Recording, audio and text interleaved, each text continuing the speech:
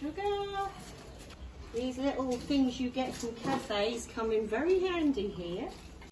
And betadine. It's like a cookery lesson. This may all look very, very strange, but basically, ever since we rescued Annie, we've had a fighting battle with the damage caused by years of neglect.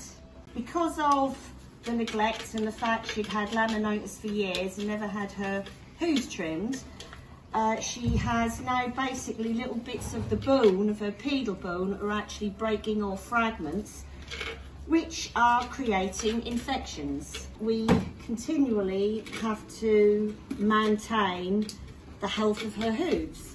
It's not like an infection that you can see and it basically bubbles away till it gets to such a stage where it breaks through.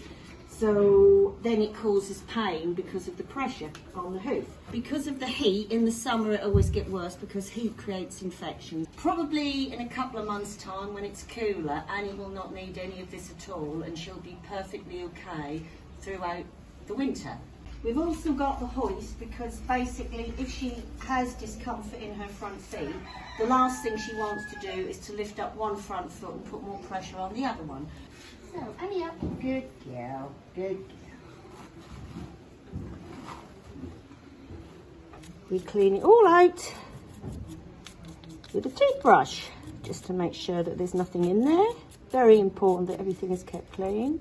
This is all now healing up very, very nicely and it's now starting to harden up, which is what we want to see.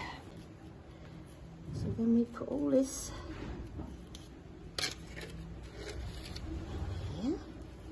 So basically all this will now go into where the infection was and obviously kill any bad bacteria that might be there.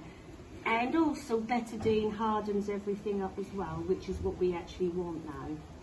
And as I said, we will continue to do this until we get healthy hoof growth underneath. As you can see, Annie's completely happy with this arrangement. Bearing in mind she's got used to this over the years that she's been here. And by doing this, we are giving her more time up. Come on, licky up. Good girl. We are guided by Dorothea, our vet. Sadly, we know that they're good girl. There will come a time when there's no more we can do to ensure that she has quality of life. Come on.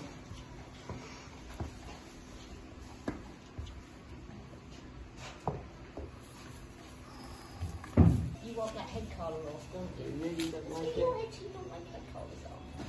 Here we go.